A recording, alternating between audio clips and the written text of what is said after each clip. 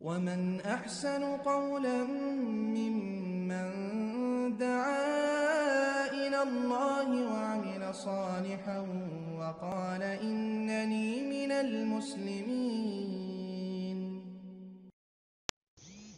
ওয়ালাইকুম আসসালাম আহ, ভাই জিলুর রহমান সাহেব মাশাল্লাহ পরিচয় দিয়েছেন এবং আপনার যে সুন্নাত পালনের যে আহ, আকাঙ্ক্ষা আল্লাহ পাক এর জন্য সব দেবেন ইনশাআল্লাহ। যে কোনো নেক কাজের যখন ফামান হাম্মা বে হাসানাতিন ফালাম ইয়ামাল হা কুতিবা লাহু হাসানা কামিলা।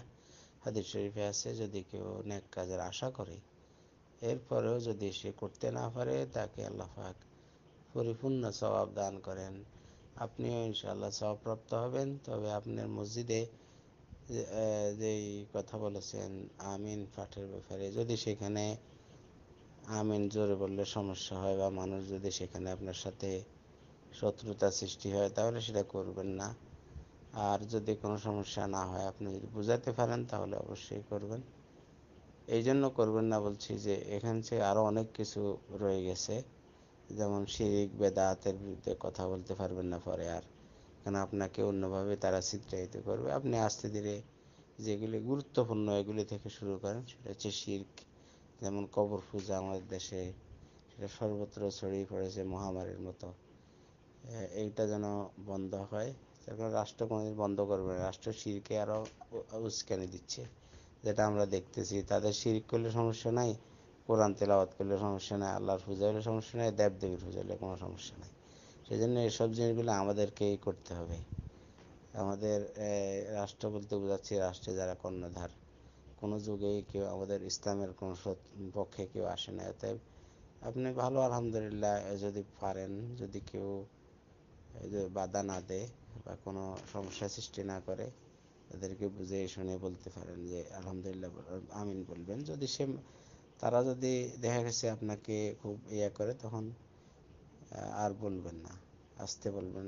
অথবা আপনি যতটুকু শুনতে পারেন ততটুকু বলবেন, এতটুকু বললে হবে। যেহেতু আসলে আমেন এরকমই, মোটামুটি আমেন বললে হবে, মোটামুটি যাতে আপনি শুনতে পান, আশেপাশে কয়েকজন শুনতে পায়, এরকম হলে হবে। তো আমিন যদি সবাই মিলে তাহলে বলে, যেমন রসুল সাল্লাহ যুগে আমিন বলতে এমন ভাবে যে, ইমাম মালিক বলছেন যে তখন মসজিদে নবীতে একটা বড় ধরনের আওয়াজ সৃষ্টি মানে ঘুম ঘুম আওয়াজ হতো কিন্তু সবাই বলতো। কিন্তু আমাদের দেশে তো আমরা ওই যে মাঝহের কারণে এই সমস্যা হয়েছে যে আমিন আমরা বলি না আমিন আসতে বলি।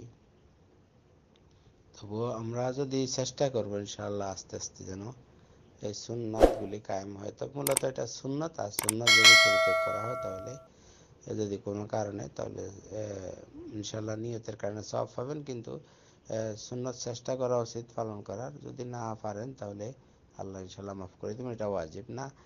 ওয়াজিব যেহেতু না সেই জন্য এটা নিয়ে অতিরিক্ত ইয়ে করা যেখানে ফিতনা সৃষ্টি হয়, মারামারি, কাটাকাটি বা যদি দেখা গেছে আপনি মানুষের কাছে নিগৃহীত হয়ে যাবেন, তখন এটা না করাই ভালো। তো আপনার মৌলিক জিনিসগুলি আগে আগে শুরু করবেন, যেমন শিরিক দিয়ে, শিরিক আগে এবং যেগুলি তাদের মধ্যে কুসংস্কার আছে, নামাজ পরিত্যাগ করা, জেনা, বদমাশি, খারাপ কাজ করা, সুদ খাওয়া, ঘুষ খাওয়া, এগুলির বিরুদ্ধে কথা বলবেন কেন? এবাদত কবুল হওয়ার জন্য শর্ত হচ্ছে হালাল রুজি হওয়া। তো হালাল নামাজ পড়ল, এখান থেকে হারাম রুজি খাইলো। মানুষের মহিলার দিকে তাকাইলো, মহিলার ঘরে যা বসল, মানুষের বাড়িতে যায় ঢুকলো, মানুষের অনুমতি ছাড়া। এগুলি তো হারাম, তো এগুলিও আপনি বলবেন আশা করি। আর মহিলারা যাতে নাম মসজিদে আসে, সেই ব্যবস্থাও করবেন। যেমন আমরা মসজিদের, নিজেদের মসজিদে মহিলাদের আসার ব্যবস্থা করেছি, মহিলা না আসে, উনি ব্যবস্থা করেছি, তারা এবার আসুক, না আসুক, তাদের জন্য তাদের ব্যাপার। তাদেরকে বলছি, আসতে যদি না আসে, আমাদের তো দায়ী না। এরকম চেষ্টা করবেন, জায়গা রাখবেন, মহিলাদের জন্য আলাদা, সম্পূর্ণ আলাদা হবে, মহিলা ওখান দিয়ে আসবে ওইখান দিয়ে যাবে, আলাদা, তাদের দরজাও আলাদা, এরকম হবে। তো এভাবে কথা প্রসঙ্গে অনেক কথাই বলে ফেলছি, এগুলো জরুরি। সেই জন্য আল্লাহ পাক আমাদের আমল করার তৌফিক দিন, আমিন।